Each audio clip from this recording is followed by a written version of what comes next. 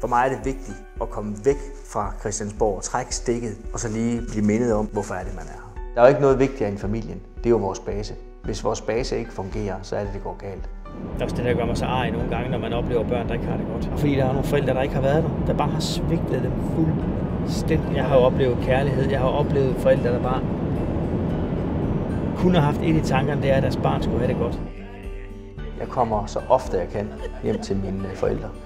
Både fordi jeg nyder at komme der, men også fordi jeg føler, at øh, de har gjort så meget for mig i mit liv.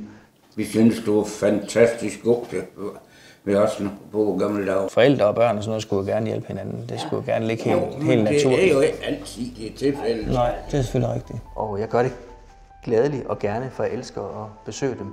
Selv kan du huske en dag, vi kom ud i stolden. Min mor har altid en god fortælling, eller lige kan minde om, hvad der er foregået. Så har han fundet den grønne sprejt i, og sprejt et, ja, så stort C på alle vores skydedøre. Jeg har lavet lidt graffiti på den artige måde. Der blev vi godt nok lidt mærkeligt, lidt varme i kinderne.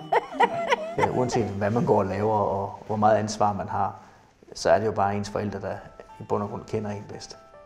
Noget af det også, synes jeg, har fået med hjemmefra, som jeg er rigtig glad for, det er det der med, at jeg kan godt gøre noget for andre, uden at skal have noget for det. Det betyder så utrolig meget for mig. At jeg har jo taget rigtig mange af de værdier med mig. De ligger bare dybt lejret i mig. Har I nogensinde siddet og talt om, hvad er vigtigt, og når vi skal opdrage Søren, og hvad skal han have med sig? Og Det er jo meget vigtigt for sådan, at vi satte nogle rammer for dig. Fordi at, øh, hvis, det, hvis du fik nogle rammer nu, hvordan vi så gå fremadrettet. Ja, min mor, hun er meget direkte.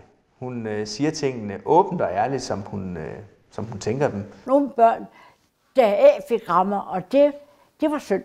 De var som de var. De unge mennesker, de gør nogle ting, som de lige tænker over i det øjeblik, de gør det. Men så bagefter, så, så, så, kom, så er der nogen, der alligevel efter, når de kommer til at fortryde det.